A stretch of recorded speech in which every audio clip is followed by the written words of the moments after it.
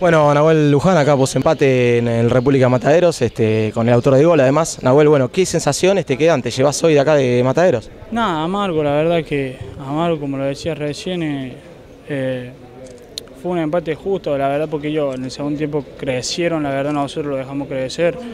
Eh, el primer tiempo fuimos ampliamente superior nosotros, la verdad que después de que hicimos el gol tuvimos un par de situaciones claras, una que me voy a amargo porque hubo una clara que me, yo voy mano a mano con el arquero y estaba Gonzalo solo al lado y no se la doy, quiero definir yo con zurda y se la tendré que haber dado a Gonzalo.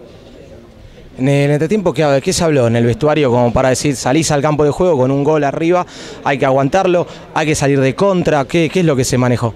Nada, seguir jugando como estábamos jugando, porque yo creo que nos estábamos, estábamos matando, estábamos todos corriendo, metíamos, estábamos ganando, estábamos bien, estábamos superiores al rival y bueno, pero después en el segundo tiempo no sé qué nos pasó, empezamos a tirarnos atrás y empezaron a crecer, empezaron a agarrar la pelota más y, y bueno, como te digo, ellos crecieron y bueno, nos empataron y después se hicieron un poco superior, viste, en el segundo tiempo, pero fue un empate justo, yo creo.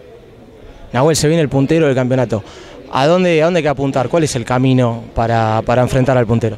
No, la verdad es que eso, el objetivo nuestro era hoy día los tres puntos, la verdad es que llevarse a casa los tres puntos acá, no habíamos hablado nada de argentino, yo creo que a partir de mañana el técnico ya lo empezaremos a vivir y esperemos, es un partido hermoso para jugarlo y esperemos seguir como venimos, que el que le toca jugar se mata y bueno, esperemos que salga bien las cosas, pero en casa así que venimos con una racha linda, esperemos que seguir con esa racha.